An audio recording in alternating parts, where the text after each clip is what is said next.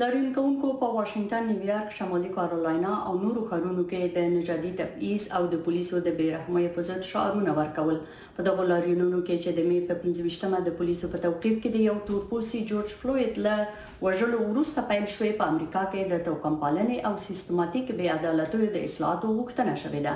د فلوید د وژنو په ضد په برلین، پاریس، لندن او د نړۍ په یو شمېر نورو ښارونو کې هم زرګونو خلکو د کورونا د مخنیوي د محدودیتونو سرغړونه وکړه او لاریونونه یې وکړل په لندن کې لاریون کوونکو له پولیسو سره نښتې وکړې او په استرالیا کې هم ګڼ شمېر کسانو د حکومت خبرداري له پامه وغورځوه او په لاریون کې ګډون وکړ په امریکا کې مظاهره له شعارونو پیژندل کیږي او تصور وکړئ که هیڅ وانه ورئ دا د کڼو د ژوند حقیقت دی. خو نن نه. نن حتی کڼو ته هم د اشارو په ژبه کې دا هر څه ترجمه کېږي. ما د پولیسو بې رحمي لیدلې ده او زما کورنۍ په خپله دا تجربه کړې دي. ما د یوې تور پوستې په توګه ډېر څه لیدلي دي.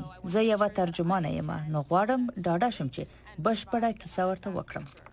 د امریکا له شرقي ساحل نه تر غربي ساحله پورې په دې هیله د بدلون یوه ناره کېدله چې د پولیسو بې رحمي او نژادي بې عدالتي له منځه یوسي او دغه پیاوړی پیغام د سپینې ماڼۍ مخ ته ورکول کېده.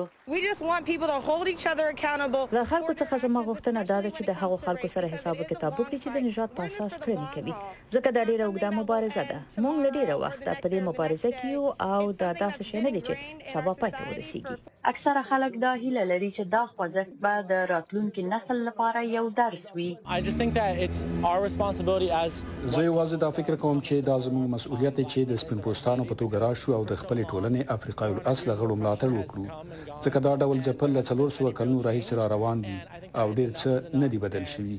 بلې خوا ته د جورج فلوید په ټاټوبي تکزاس کې ورته د یادونې مراسم جوړ شوي وو چې پکې ملګري، کورنۍ او حتی پردي خلک راټول شوي وو.